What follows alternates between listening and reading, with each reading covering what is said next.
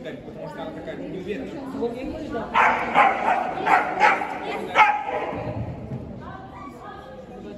Ну-ну-ну, потому что перевес большой.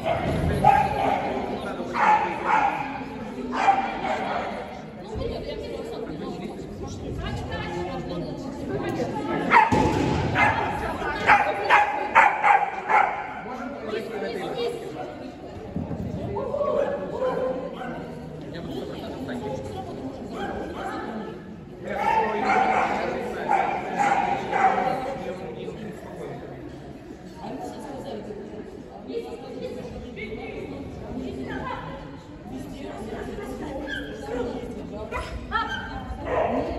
Awesome